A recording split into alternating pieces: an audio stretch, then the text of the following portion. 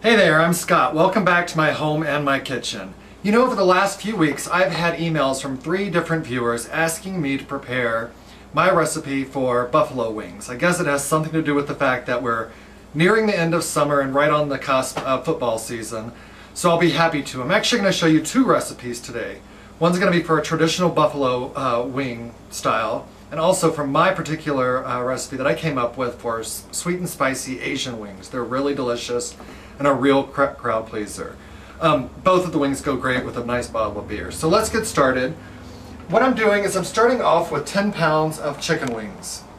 I'm going to take the 10 pounds, we're going to divide them into 5 pound portions, one for the buffalo wings and one for the Asian style wings. Um, I have a deep fryer here set on 375 degrees filled with peanut oil. The oil is nicely hot. I also have a pan uh, with a wire rack in it and a pair of tongs. If you don't have a wire rack, line your baking sheet with a piece of aluminum foil. And if you're not using an automatic deep fryer, uh, use a six, uh, six quart um, enamel cast iron Dutch oven filled with peanut oil. It works just as great. Go to my fried chicken recipe and you'll see how we actually do that um, to fry the chicken. It works, it works just as well. So what I'm going to do is in little portions and probably, I don't know, um, probably 10 to 12 wings per basketful. We're going to put those in the fryer and let them fry, I would say about eight minutes. We're going to keep an eye on them. We the key to this is really making sure that the chicken gets done. So I'm going to let these go for eight minutes, um, and in the meantime we'll start putting the sauces together. So I'm going to drop these into the oil. And there they go. Okay, to get started on the first sauce, it's going to be the Asian, the sweet and style Asian sauce. Um, it takes about 20 minutes on the stove because it's going to boil for a little while to reduce. So what I have is a nice sized um, saucepan on the heat. I'm just heating that up slightly. And here are the ingredients that you'll need for the Asian style um, chicken wings.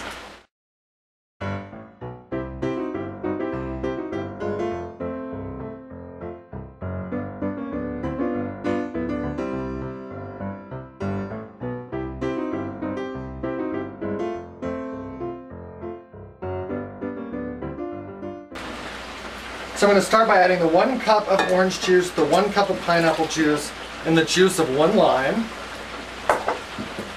Here I have the one tablespoon of the orange zest, very important flavor component in this, and the one tablespoon of the freshly um, minced ginger, the one tablespoon of the garlic powder, the green onions, about half a cup, Gonna need about a quarter a teaspoon of sesame oil. I'm actually using a hot pepper sesame oil. Um, it just adds a little bit of heat to it, but if you don't like it too hot, just go with a regular sesame oil. The one quarter cup of the mirin will go in. And that's a rice cooking one. You can find it in the Asian section of your grocery store. We're going to add our one quarter cup of the soy sauce. I'm using an aged soy sauce. Any soy sauce that you prefer um, will be just great. Low sodium works just as well too if you're watching the sodium in your diet. So a quarter cup of that. Then we have our half cup of the sugar, which is going to add a really nice sweet flavor to it. And the one teaspoon of the crushed red pepper flakes go right in. It's going to add a nice heat to it. And then I have uh, chopped cilantro and the sesame seeds standing by. Those are going to go over for garnish at the end. So what I'm going to do is just keep this over the heat, stirring occasionally. It's going to come to a boil. We want it to boil for about 18 to 20 minutes. It's going to reduce by about half, and that's exactly what you want. We're about halfway through um, the eight minutes on cooking this batch of chicken wings.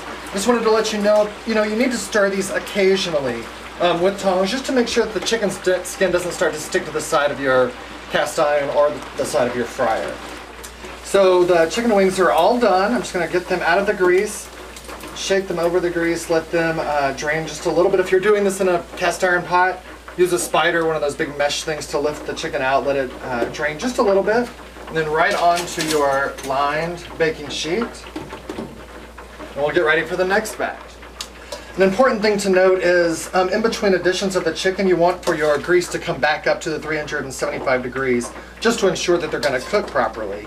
And as you can tell, we're not breading these chicken, um, the chicken wings at all. That's actually a traditional way to prepare buffalo wings and the Asian style sweet and sour wings that we're doing um, in addition. The uh, oil temperature just came up where I needed at 375. I'm going to drop this basket in and uh, get started on the next sauce, which will be the buffalo sauce. I also want to let you know that if you're going to be um, preparing these in advance, you can fry off all the chicken wings, um, put them in a 225 degree oven, hold them until you're ready to serve them, and mix them with the sauces right before your guests arrive.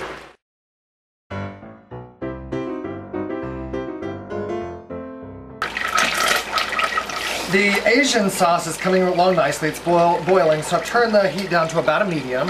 What I'm going to do is start with one cup of melted butter in my saucepan.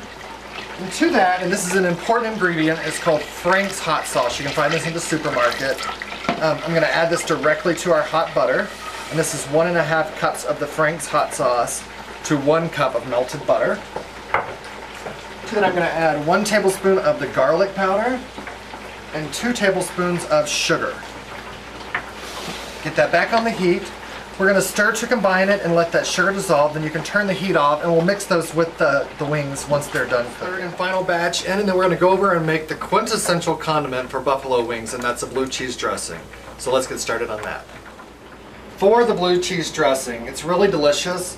Um, you're going to need half a cup of mayonnaise, the best mayonnaise you can find, half a cup of sour cream, need a tablespoon of um, garlic powder, and four ounces are about half a cup of crumbled blue cheese. Start to combine this. And this is actually really great as a salad dressing as well. You can thin it out slightly by adding just a little bit of milk at a time until you get the um, consistency you want. The sweet and sour Asian sauce has been boiling for just about 20 to 25 minutes. You can tell when it's done when you drag your spoon through the bottom just like this and you see a line after it.